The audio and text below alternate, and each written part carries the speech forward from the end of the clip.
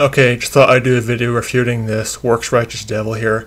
Uh, I've heard about him, seen a couple of his stuff, came across his channel, and he is a true work salvationist. He makes no bones about it. He openly says you're saved by works. Uh, he's a Roman Catholic. You know, he, also, he he may not claim to be a Roman Catholic, but he's Roman Catholic in spirit, in the sense of his false gospel is Roman Catholicism. And you know, I, I say a lot of these guys who are self-righteous, I call them Catholics because they are teaching Roman Catholicism. Whether they reject Catholicism or not, they may not do the whole Mary thing. They may not do the whole, you know, bowing to the saints and bowing to statues. But in terms of their false gospel, their works righteous. It's Catholicism. And you're going to see this guy who's openly saying you're saved by your own righteousness and not by the righteousness of Jesus Christ. And he's taking scripture out of context, going to scripture for different dispensations. Um, because these work salvationists, they always have to go to scriptures that are dispensationally not for Christians because they don't rightly divide the word of truth like the Bible commands.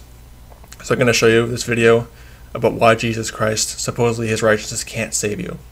So in other words, you're not saved by Jesus Christ, you're having to save yourself. Just like any lost Roman Catholic would. Let's get right into this. Taught within the churches today that because Jesus died on the cross for you, he transfers his righteousness to you and covers you in it. So, because of that, when you go on sinning every single day until the day you die. Okay, here, here's the common argument these people like using. Oh, you believe in imputed righteousness, you can just go on sinning all you want and still be clothed. No one's saying you can just go on sinning. I've, I've never said that. No one's saying you can just go on sinning. What we're saying, though, is that when you're clothed by the righteousness, righteousness of Jesus Christ, it's Jesus Christ saves you, you don't save yourself. That's what we're saying. We're not condoning sin, and we're not, those who believe in imputed righteousness, we're not condoning sin. We're just saying you don't save yourself by your own righteousness. Because self righteousness is a sign of a Pharisee. And it's, it's what Satan had in Isaiah chapter 14, verses 12 to 15. Satan was self righteous. So self righteousness, the kind this guy has, is satanic. That's why I call this guy a devil, because he's trying to earn his way to heaven. Sorry about that. He's trying to earn his way to heaven by his own righteousness, which is filthy rags, his own righteousness, instead of trusting in Jesus Christ and his righteousness. That's why I call him a devil. When you stand before God on judgment, he doesn't see you sinning every day till the day you die. All he sees is the righteousness of Jesus Christ covering you. Uh, that's what the Bible teaches. You know, you can't earn your way to heaven. Paul talks about, you know, in 1 Corinthians 15, 51 and 58, talking about the rapture, he says that we get an incorruptible body. So our bodies are corruptible right now. We're sinful. We have to be clothed in the righteousness of Jesus Christ. We can't save ourselves. Like this Roman Catholic devil here is trying to say. But I actually found something here today that I think is very interesting. Oh, I also mentioned too he doesn't use a King James. He uses a modern uses modern versions. So, what do you expect? Kind of gives a different point of view than what's commonly taught. In Proverbs 11, verses 5 through 6, it says. Okay. First problem. Uh, Proverbs is can be used for instruction in righteousness, but it's not doctrinally written to a Christian. In terms of salvation, it's not for Christians today.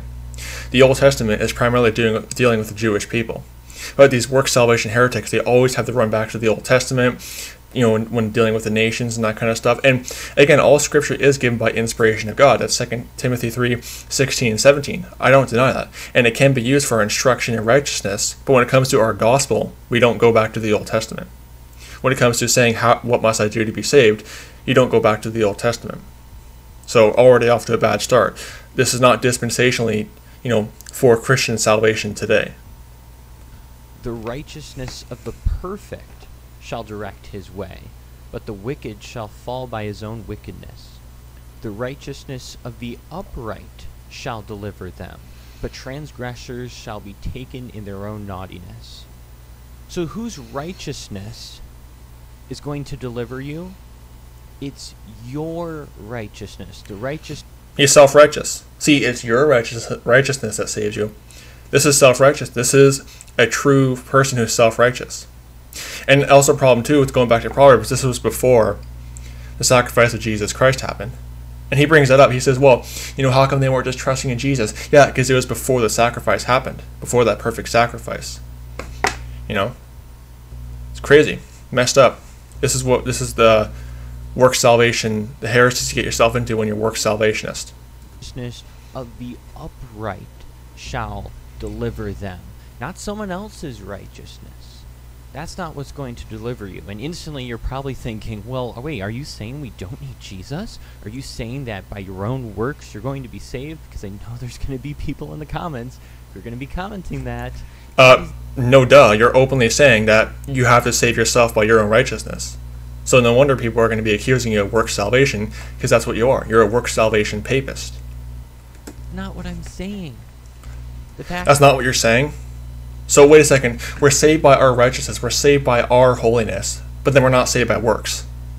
Huh? Messed up. Probably the devils inside of him are just messing him up like this. I mean, just a double speak. So you have to save yourself by your righteousness, but you're not saved by works. You know, okay. Messed up. is is this. If we look at 1 John 3 verse 7, it says he who does what is right is righteous. If we look at the people Not even, not even quoting from a King James, quoting from a modern Vatican perversion. Get a real Bible. Don't use these- modern Vatican perversions. Nineveh in Jonah chapter 3, it was their works that saved them. It was because Okay, um, again, this is before the sacrifice of Jesus Christ happened, but we're gonna see what what's actually going on in Jonah three. they turned from their evil way. It says in Jonah chapter 3, read it yourself. Don't just take my word for it. Look at the scriptures yourself. Jonah chapter 3. It says God saw their works that they turned from their evil ways and God gave them mercy. Okay, what's the context? Let's let's read the context of this, because these work salvation papists loved they lo- love to rip scripture out of context. What is going on in context? Jonah chapter three and verse ten. This is the verse he quoted. And God saw their works that they turned from their evil way, and God repented of the evil that He said He would do unto them, and He did it not. Uh, what was the evil God was going to do to them? Was it salvation? Is this about salvation? No, it's not. Let's go back to verse number 4. And Jonah began to enter into the city a day's journey, and he cried and said, Yet forty days, Nineveh shall be overthrown. Yeah, overthrown. What's going on? It's a judgment against the city, a physical judgment against the city. This is not about salvation in context. And even if it was, it's not for Christians today. This is before the sacrifice of Jesus Christ happened. So they were not saved by the righteousness, righteousness of Jesus Christ, contrary to what non dispensational heretics will say. They were not saved the same way we are today. It's called rightly dividing the word of truth, 2 Timothy 2.15, which ironically has been taken out of these modern Catholic perversions. He gave them mercy when they turned from their sins and did righteousness. So when you turn from your sins and start doing what's right, which you're totally capable of doing, no one's forcing you to sin. No one's forcing you to think inappropriate thoughts. No one's forcing you to do any of this. See, again, self righteousness. He's denying basically that we have a sinful flesh, that we have, Christians have a sinful nature. Let me just show you something real quick. Let me just search up that term sinful flesh. Because self righteous people, they just can't stand the thought of being a sinner. They, they, they can't stand it. They don't want to admit they're a sinner. Romans 8 3. Let's see about that. Romans 8 3. For what the law could not do, in that it was made weak through the flesh, God sending his own Son in the likeness of sinful flesh, and for sin condemned sin in the flesh, that the righteous, righteousness of the law might be fulfilled in us, who walk not after the flesh, but after the Spirit. And he'll say, see, you have to walk after the Spirit in order for the sin to be cleansed. Um, no. When you walk after the Spirit, it just means you're saved. It doesn't mean you're having to continually walk after the Spirit to be saved. Ridiculous. So your flesh is sinful, obviously. Sinful flesh. It just right there. He sent his son in the likeness of sinful flesh. And I'll show you, you know, First Corinthians. Because again, people who are self-righteous, they just can't stand the thought of being a dirty sinner who is saved by the grace of God. They cannot stand that because it hurts their pride. First Corinthians 51. Here's this is the point of the rapture, by the way. One of the reasons behind the rapture of the purpose of God rapturing believers. 1 Corinthians 15:51 Behold I show you a mystery we shall not all sleep but we shall all be changed in a moment in the twinkling of an eye at the last trump the trump for the trumpet shall sound and the dead in Christ shall, sorry and the dead shall be raised incorruptible and we shall be changed Look at this. For corrupt for the for this corruptible must put on incorruption, and this mortal must put on immortality. So when this corruption shall have put on incorruption, and this mortal shall have put on immortality, then shall we be brought to pass, saying that it is written, Death is swallowed up in victory, quoting Isaiah 25 verse 8, the first part there. So what's going on there?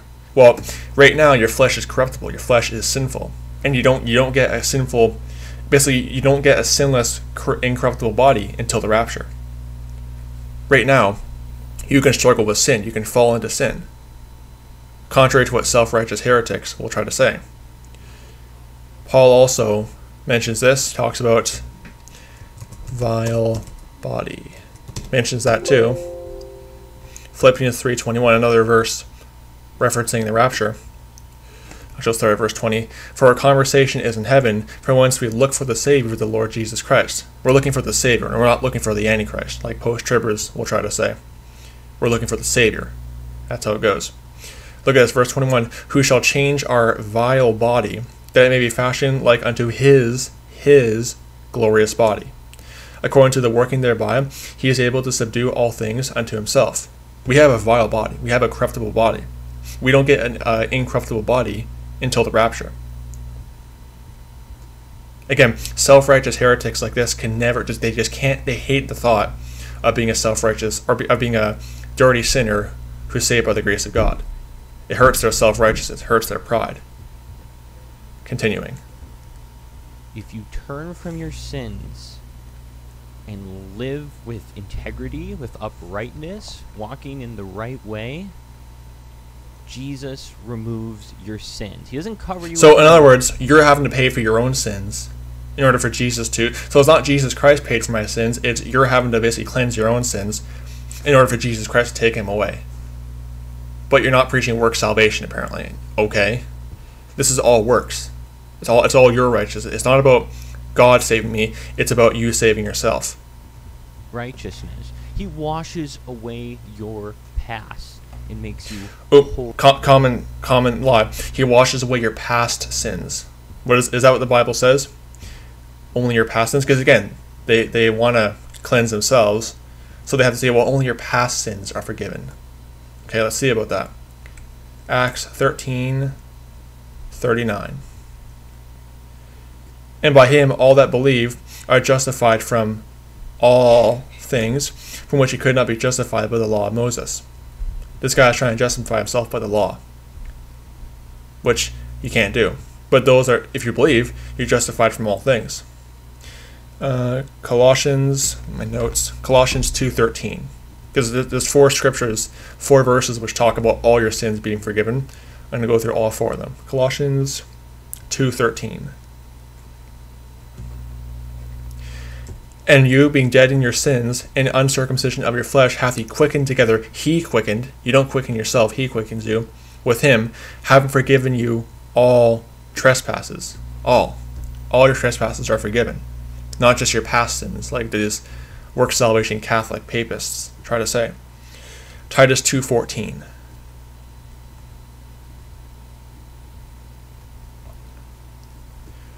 I shall start at verse 13 looking for that blessed hope and the glorious appearing of the great God and our Savior Jesus Christ. Another good verse for the rapture. We're looking for the appearing of Jesus Christ, not the Antichrist.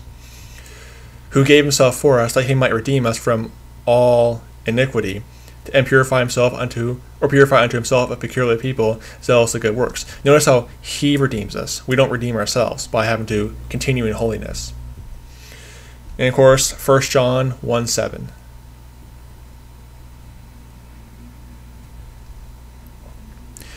But if we walk in the light as he is in the light, we have fellowship one with another, and the blood of Jesus Christ, his Son, cleanseth us from all sin. Now, the common argument they'll try to deflect is to say, well, see, you have to walk in the light in order for that blood to cleanse you of all sin. Let's see about that. Does What does the Bible say about being walking the light? Okay, let me show you. Here's how you answer them on that.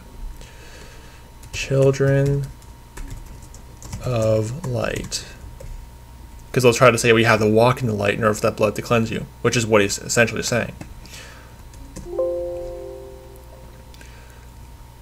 1 Thessalonians 5 5. Ye are all the children of light, and the children of the day. You are not the children of the night, nor of darkness.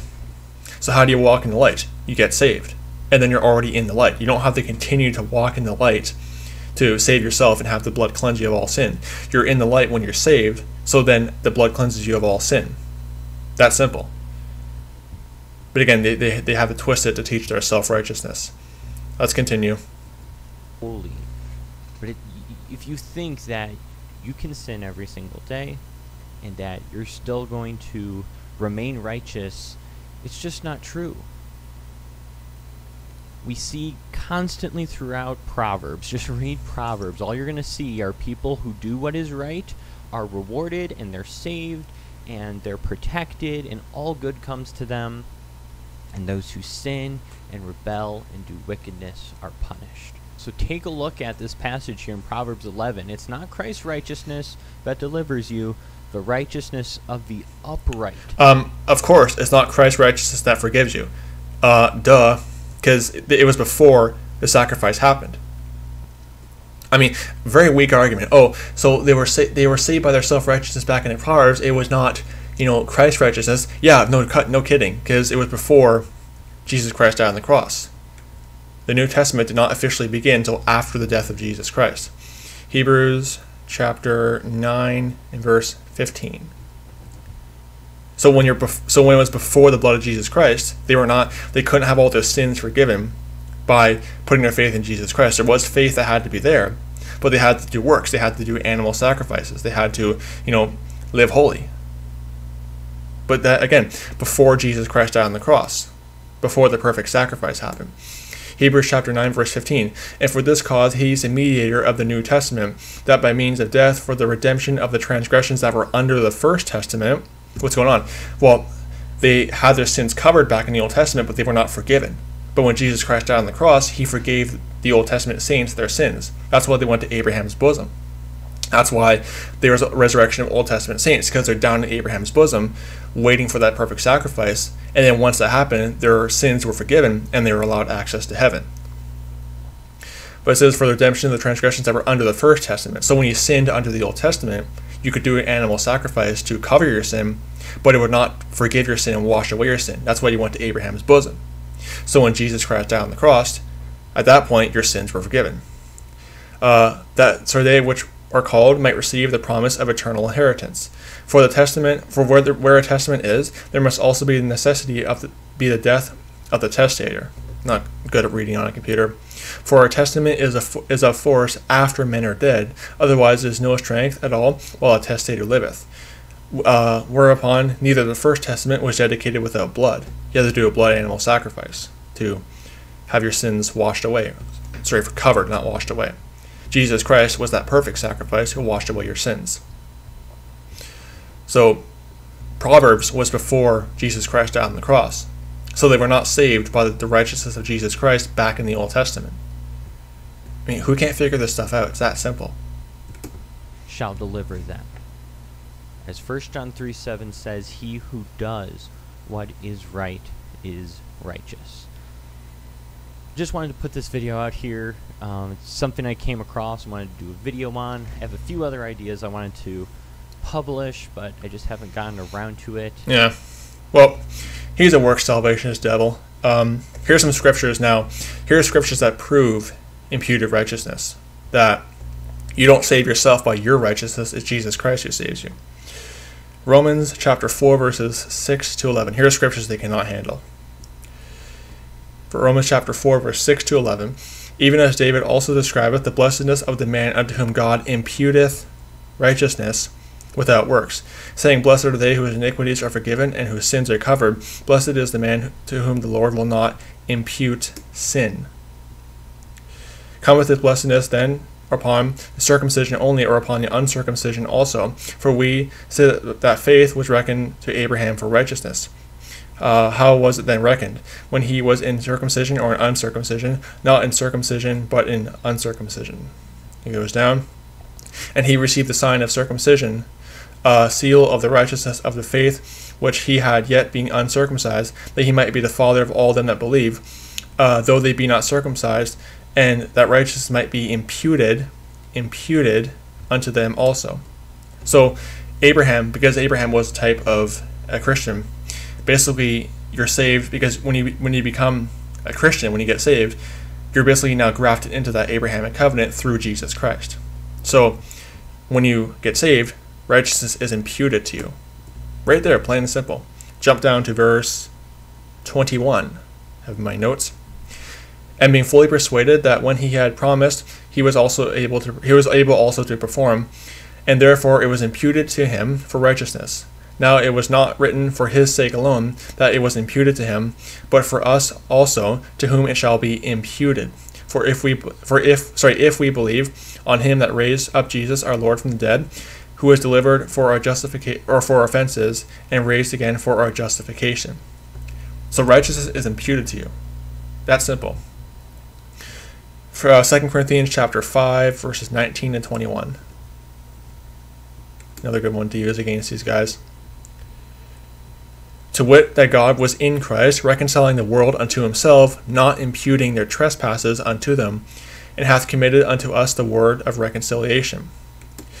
Uh, now then, we are ambassadors for, for Christ, as though God did beseech you by us, we pray you, in Christ's stead, be ye reconciled to God. Look at verse 21. For he hath made him to be sin for us who knew no sin, that we might be made the righteousness of God in him.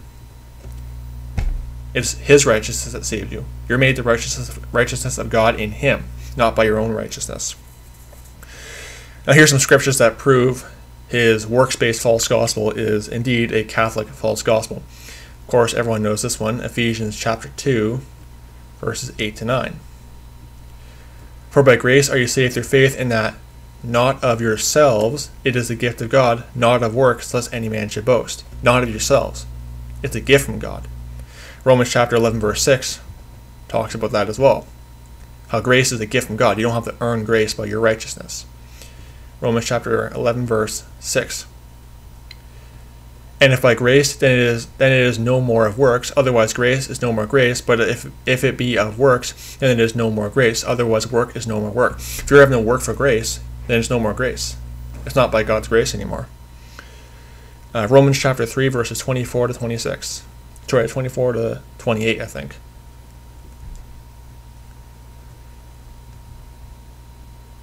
Being justified freely by His grace through, through, through the redemption that is in Christ Jesus, whom God hath set forth to be propitiation through faith in His blood to declare His righteousness for the remission of sins that are past through the forbearance of God. And that's the verse I like to say, well, see, only your past sins are forgiven. They like twisting that verse. To declare, I say that at this time, his righteousness, that he might be the just and the justifier of him which believeth in Jesus. How do you get around that? Where is boasting then? See, when you're saved by works, like Ephesians 2 8 9 say, you can boast. Not of works, lest any man should boast. Where is boasting then? Is it excluded by the law of works? Nay, but by the law of faith. Therefore, we, wherefore we conclude that a man is justified by faith without the deeds of the law. If you're saved by works, you can boast. You can be prideful and boast like this little papist, this little Catholic heretic is doing right here. Some more scriptures. Uh, Philippians 3 9. Uh, where's Philippians 3? Here it is. I'll just go right there. And be found in him, not having mine own righteousness, which is of the law, but that which is through the faith of Christ, the righteousness which is of God by faith. So, how do you obtain the righteousness of Christ? By faith. That's simple. You don't have your own righteousness, which is of the law. And here's a really good one you can use against them. Uh, 2 Timothy chapter 1, verses 9 to 10. Another good verse proving that you don't earn your grace, you don't earn God's grace by works. Uh, sorry, actually, wasn't that? For sorry, 2 Timothy chapter 1, verses 8 to 9. Sorry. Be not thou therefore ashamed of the testimony of our Lord, nor of me his prisoner, but be thou partaker of the afflictions of the gospel according to the power of God, who hath saved us and called us with the holy calling, not according to our works, but according to his purpose and grace, which was given to us in Christ Jesus before the world began. It's Jesus Christ who gives you that righteousness. You don't earn it by your works, not according to our works. And of course, a really, really good one to use against these guys who are self-righteous. Titus three five. They can't. They can't. They they do not. They can't handle this verse. Look at this. So he says, "It's your righteous, your righteousness that saves you." Let's see what Titus three five says. Not by works of righteousness which we have done, but according to His mercy, He saved us by the washing of regeneration and renewing of the Holy Ghost. Not by your works of righteousness. You're not saved by that. If you think you're saved by your own righteousness, you're lost. That simple. You're trying to work your way to heaven, like this little devil is doing right here. Don't be deceived by these false prophets, these works righteous false prophets. Uh, they are of their father, the devil. And again, you can read Isaiah chapter 14, verses 12 to 15. Satan was self righteous. He wanted to be like the Most High, just like this guy is doing. Don't be deceived by these closet Catholic heretics. May the grace of our Lord Jesus Christ be with all the brethren. Goodbye.